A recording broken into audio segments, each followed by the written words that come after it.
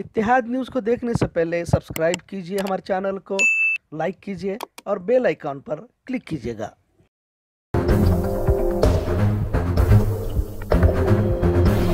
वालेकुम रहमतुल्लाहि वरकत इत्तेहाद न्यूज़ में आप सभी का खैर मकदम है। अहम खबरों पर एक नज़र। बेलगाम शहर में आज भी खामोशी छाई रही। पुलिस, एंबुलेंस या फिर एक आध कोई शख्स निहायत अहम कामों को लेकर ही बाहर घूमता दिखाई दे रहा था।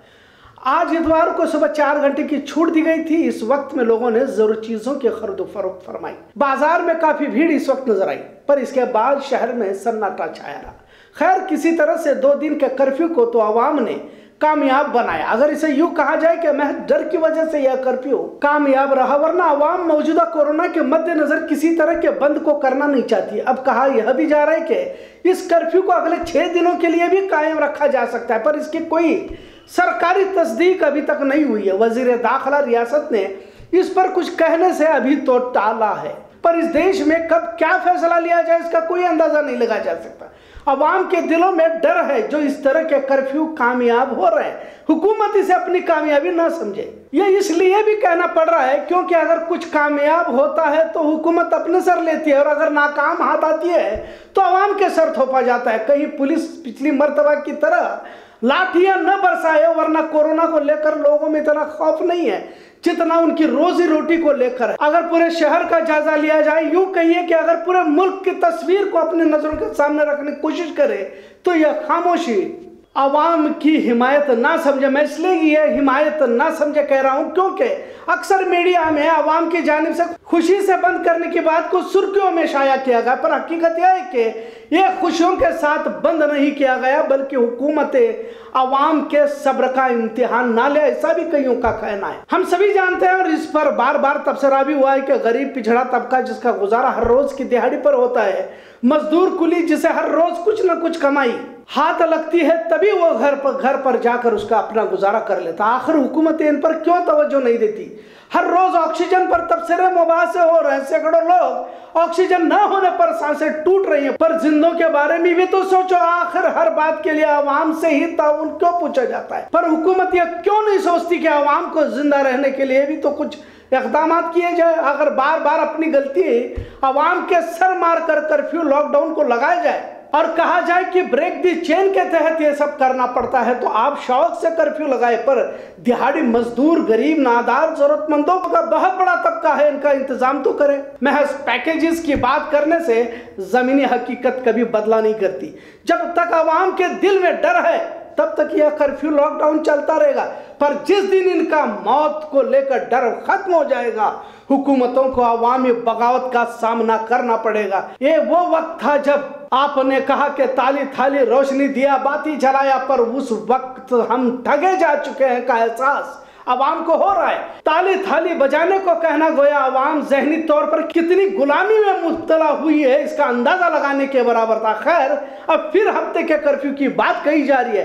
क्या ऐसा नहीं लग रहा कि अब हुकूमत की जानब से ज्यादती की जा रही है? और सवाल तो यह भी उठता है कि जब वैक्सीन लेने के बाद भी पॉजिटिव हो रहे यानी जिन लोगों को वैक्सीन दी जा रही है और जिन्होंने दो डोज भी लिए हैं और पॉजिटिव होने की वारदात भी ज़्यादा पाई जा रही है तो इलाज के लिए तो अस्पताल जाना ही पड़ेगा। अगर वैक्सीनेशन को मुकम्मल करने से भी मान लो कि पूरे मुल्क में अगर वैक्सीनेशन की इस मुहिम को कामयाब भी बना दिया जाए, अस्पताल में इलाज के लिए जाना ही पड़ेगा। मरीज़ की क्या कैफियत होगी? क्योंकि आज भी अस्पताल नहीं है, जबकि वैक्सीनेशन तो महज दस फ़ीसद ही हुआ है। कहने का मतलब कर्फ्यू लॉकडाउन इसका इलाज नहीं है। गरीबों को ज़िंदा रखने की कोशिश होनी चाहिए, वरना मुल्क को आज जिस तरह कोरोना पॉजिटिव में पहले नंबर पर पहुँचा है, उसी तरह गरीब मुल्कों के फहरिस्त में भी पहला नंबर हासिल होने में देर नहीं लग सकती। अगर इसी तरह से बंद कर्फ्यू लॉकडाउन के ज़रिए आवाम की रोजी रोटी छीन ली जाए तो भारत गरीब मुल्कों की फहरिस्त में अव्वल नंबर पर आना मुश्किल नहीं है।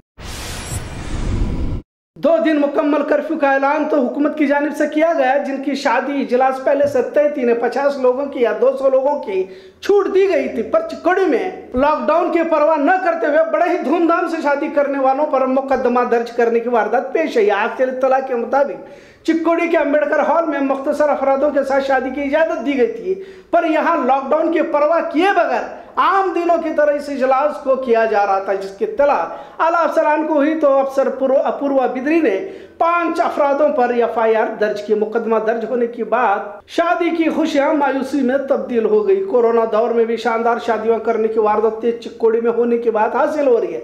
यह भी खबर हासिल हुई है कि बिना किसी इजाज़त के ही शादियों के इजलास रखे जा रहे लिहाजा तहसीलदार जैन ने सहाफियों को बताया कि अगर कहीं पर इस तरह का मामला नज़र में आता है तो सख्त कार्रवाई की जाएगी। कोरोना के दौर में कौन क्या मशवरा दे, इसका कोई अंदाज़ा नहीं लगाया जा सकता। पूरे मुल्क में कोरोना को लेकर हाहाकार मचा हुआ है। ऑक्सीजन की कमी से हर रोज सैकड़ों लोग मरने की वारदातें पेश आ रही है। पर वीआरएल ट्रांसपोर्ट के मालिक और सबक भाजपा के लीडर विजय शंकेश्वर ने प्रेस कॉन्फ्रेंस के ज़रिए आवाम को मशवरा दिया कि ऑक्सीजन पर इतना हंगामा करने से बेहतर है कि मरीजों को चार बूंद नींबू का रस पिला दो, अपने आप कुछ ही देर में ऑक्सीजन लेवल ठीक हो जाएगा। और यह नुस्खा मैंने भी खुद आजमाया ऐसा इनका कहना है। अब इसके इस मशवरे पर सभी खामोश है और सोच रहे आखिर इन्हें कैसे समझाया जाए। पूरी दुनिया ऑक्सीजन की कमी से परेशान है। लिहाजा विजय शंकेश्वर ने यह मशवरा देकर ऑक्सीजन के मसले को ही हल कर दिया। क्या ऐसा सवाल भी पूछा जाए? बेंगलोर में कोरोना के मद्देनजर मीटिंग के दौरान सबक वज़ीर आला सिद्धरामैया ने वज़ीर आज़म पर तंज करते हुए कहा कि क्या प्रधानमंत्री किसी स्कूल के हेडमास्टर हैं जो बार बार कोरोना को लेकर भाषण और बातें करते रहते। सभी रियासत के वज़ीर आला यानी मुख्यमंत्री क्या स्कूल जाने वाले बच्चे हैं जिन्हें बार बार पाठ सिखाने के लिए मोदी आते जाते रहते हैं और, और मीटिंग तलब फरमाते रहते हैं फिर मन की बात अलग से करते हैं। इस पर सिद्धरामैया ने सभी रियासत के वज़ीर क्या स्कूली बच्चे हैं और तुम क्या हेडमास्टर हो? ऐसा तंज फरमाया। खैर खबरों का सिलसिला यूँ ही चलता रहेगा। देखते रहे इतिहाद न्यूज़। शुक्रिया। अल्लाह